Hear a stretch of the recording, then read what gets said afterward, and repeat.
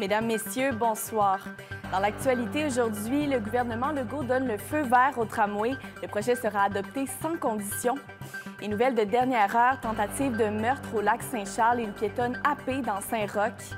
Et finalement, un grand retour pour le Festival d'été de Québec sur les plaines d'Abraham. La programmation 2022 est dévoilée.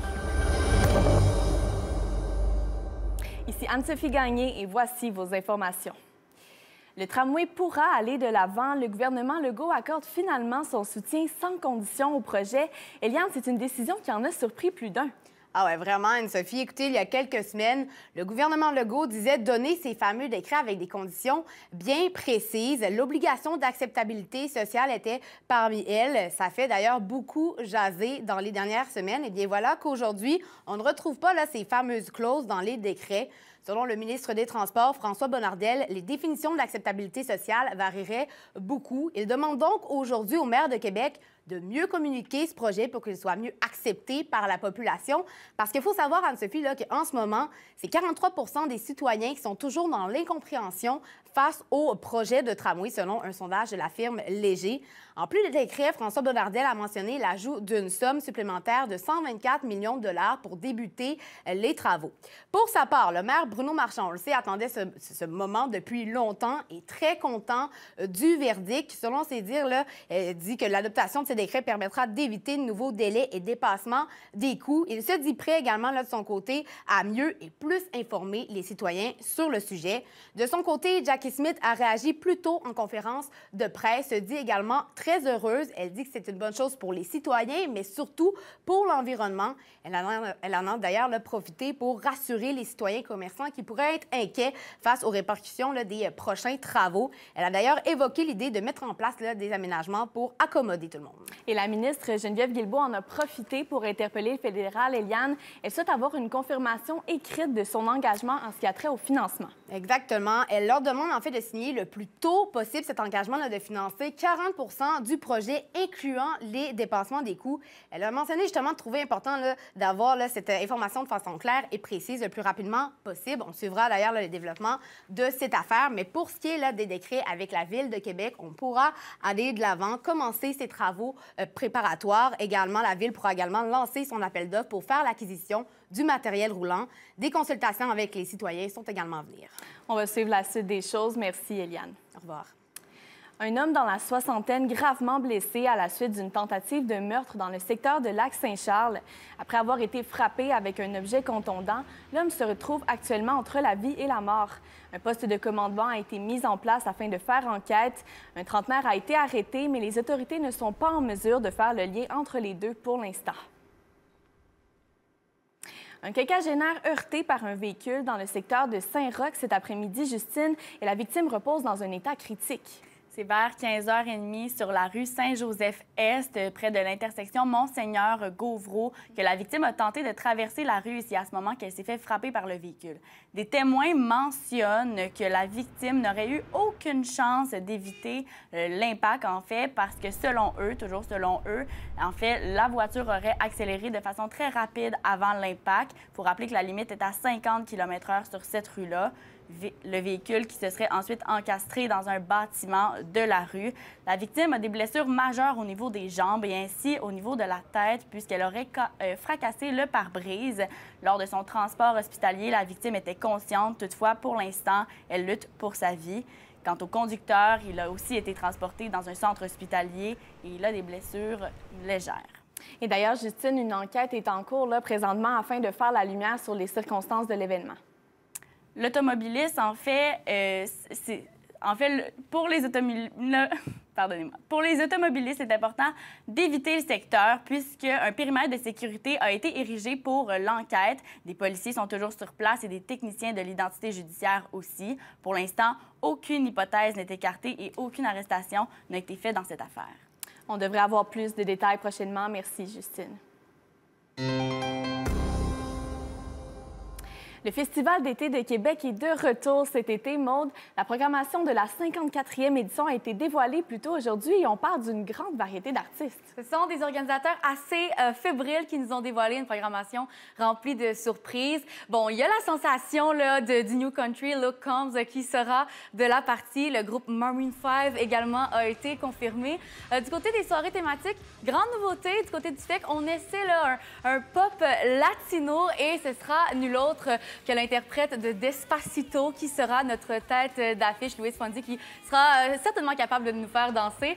Du côté de nos artistes québécois, ben Charlotte Cardin et Loud se sont vus offrir une soirée carte blanche. Maintenant, je vous parle bon, euh, de noms qui avaient initialement été annoncés lors de la programmation de 2020, qui n'a jamais eu lieu finalement. On les retrouvera cette année. Jack Johnson, Marshmallow qui s'occupera, euh, quant à eux, de nous faire vibrer lors de la soirée Electrofec. Half Moon Run, bon, Alanis Morissette, on, savait que ça s'en venait depuis hier et finalement le groupe Rage Against the Machine qui avait été annoncé il y a quelques semaines, ça tient toujours et ça fait plus de 25 ans qu'ils n'ont pas performé au Québec, donc on a très hâte de les voir. Le fait que c'est toujours plus de musique et ça ne fait pas exception cette année. Euh, du côté du parc de la francophonie, on retrouvera pas une mais deux scènes, donc deux fois plus euh, de spectacles en alternance sans interruption. Également une autre petite surprise pour les festivaliers, ben, cette, cette année ce ne sera pas 11 soirs mais bien 12 soirs afin de célébrer ce retour en grand sur les plaines du festival. Eh bien, Maude, on parle beaucoup aussi de la sixième vague de la COVID à laquelle on fait face actuellement au Québec. Est-ce que ça pourrait compromettre la tenue du festival? La question se pose et le directeur de la programmation, Louis Bellavance, lui a un peu répondu, bon, pour l'instant, le, virus est maintenant connu, prévisible, même si ce n'est pas possible dans tous les cas, euh, ce qui fait en sorte que c'est très difficile au niveau des contrats pour, euh, pour les artistes. Alors, la programmation, les organisateurs devaient être certains d'un retour lorsque le gouvernement a annoncé qu'il voulait un retour à la vie normale, un retour des festivals. C'était le go des organisateurs pour mettre en place cette programmation. Et déjà sur les réseaux sociaux, bon, on est très fébrile et, les gens sont de la partie malgré une petite augmentation de 20 du côté euh, des laissés-passer. Donc, du 6 au 17 euh, juillet prochain, ben c'est un rendez-vous. Ah oui, ça risque d'être festif sur les plaines cet été. Merci, Maude.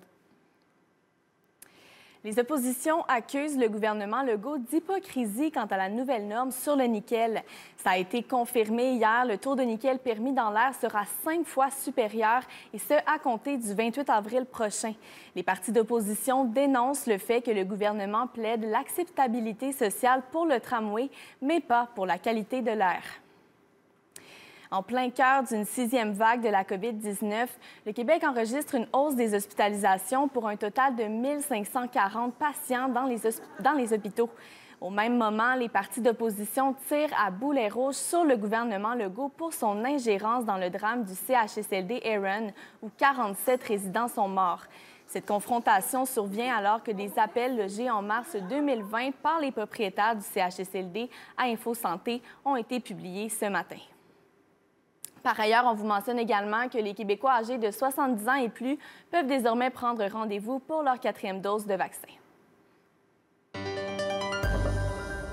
Et à la météo mode, un bulletin météorologique spécial est en vigueur. Comme on peut voir, il y a beaucoup de dessins sur la carte, pluie, neige, grésil selon les secteurs. On s'en parle d'ici la fin du bulletin euh, plus en détail.